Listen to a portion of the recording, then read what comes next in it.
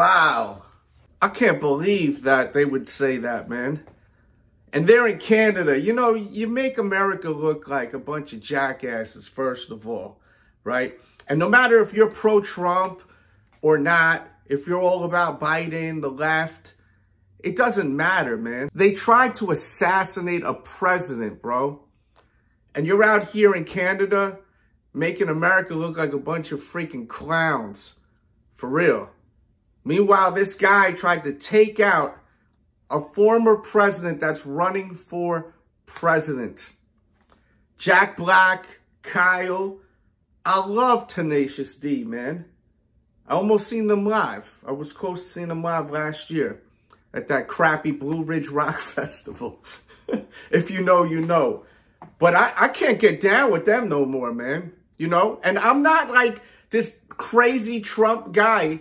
I'm just covering content that's what's that is relevant and what I feel my audience wants me to cover. This is a, a historic moment and it's crazy. And this is some trashy shit you did. You both are punks for it. And I know Kyle was the one who said it. But Jack, Jack clearly was not um, phased by what he said. You know what I mean? He could have been like, ah, we're just kidding, just joking, this, that, and the third. You know? Even my kids love Jack Black, right?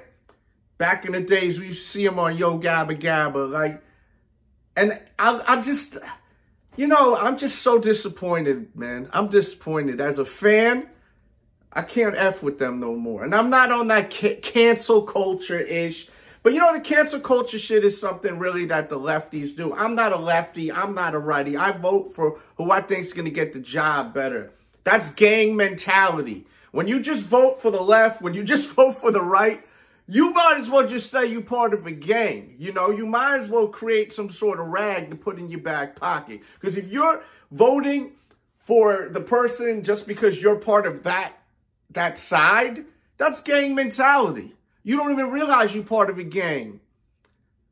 This is so foul. I want to know your opinions, but I'm just speechless about it.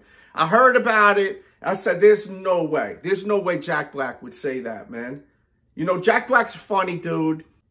And I do appreciate some dark comedy.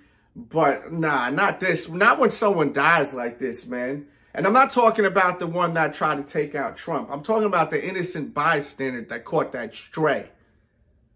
Real, real trash, man. Real trash.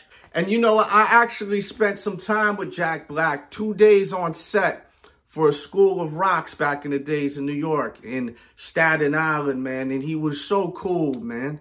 I've seen him, you know, backstage with Pantera recently. Like, dude, I just, I'm just so disappointed in Homeboy right there, man. You know, I'm disgusted. Let me know what you think. I really want to know what you think. Hit the like. It lets me know to continue covering this type of stuff that's going on. I just, I'm speechless. Damn, Jack. Kyle. Damn. Watch the video I did not too long ago. It should be right there, too. It's an interesting story about this woman that some people were actually blaming and saying that she was a part of this whole thing. And I debunked the whole thing. She did not have to do with this, man, in my opinion, okay? Um, and people are out here just like saying that she had something to do with it. I see it all over social media. I debunked the whole thing. As I said, I'm not here to push any kind of conspiracies. I hate politics with a passion, to be honest with you. But there's so much that I see that's crazy, and I want to speak about it. And this is my outlet right here. The Delz Show. If you're new here, subscribe. If you love the show, join the membership. But yeah, I told you before, but we weren't done talking yet. Check out the video talking about that woman. I debunked the whole thing. I feel bad for her because she probably is getting all kinds of harassment um, through maybe social media and in real life, and I don't think she deserves it. I may be wrong. Later on, they, they may prove something, but I think I debunked it like to the point where it's unbelievable, and I, I actually feel bad for that woman. Um, but yeah, man, um, at this point, Tenacious D, man, y'all y'all really are foul, man. You ain't gotta like Trump, but that's fucked up, bro. I'm out.